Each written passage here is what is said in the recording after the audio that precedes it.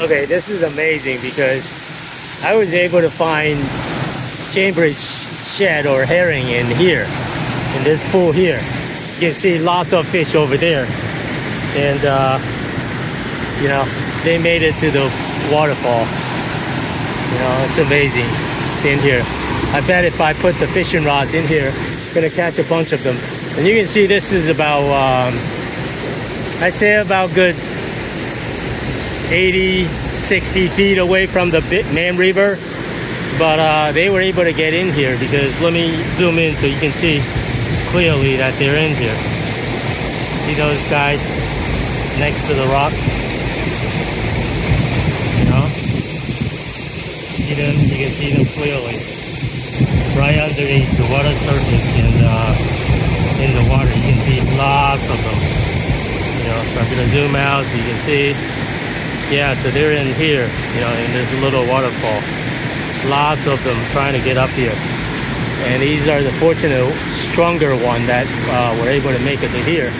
Let me walk down so you can see how far they swim, swim uh, upriver to here. You can see these guys are, they made it, playing in the rocks, as you can see here, you know, how many they are. You see that?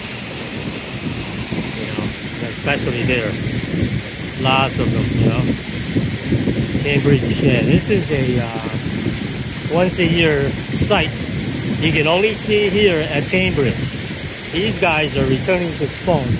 And you can see, you know, in between the rocks, a lot of them are still trying to get up there. You see these guys?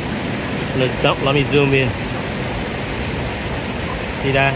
See these guys? You know, it's amazing. And we're really far away from the river, you know. And uh, look at that, you can see over there, you know, over there.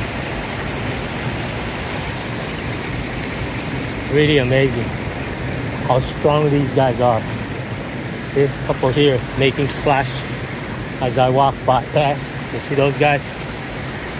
See those guys? You can see them clearly, you know, above the rocks you know so I'm just gonna show you how far they travel.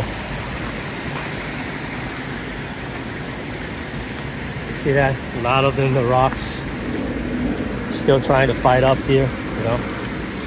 See that? Over here too.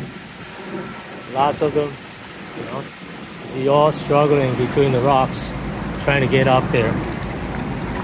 You know it's amazing. It's amazing how far they travel see. I'm taking you guys and walking with you to see how far, you know, these guys, these fish travel. See that? So this is how far they travel. See? They're in there. That one is struggling on the rocks. You know? Once the river, once the water is all the way down, they're going to die here. Because they came here to spawn. See that one is already there. Used up all his strength here, come up the river. So I got a full baggage load of um, soda cans, beer cans, you name it, everything, you know. You see that? See those fish?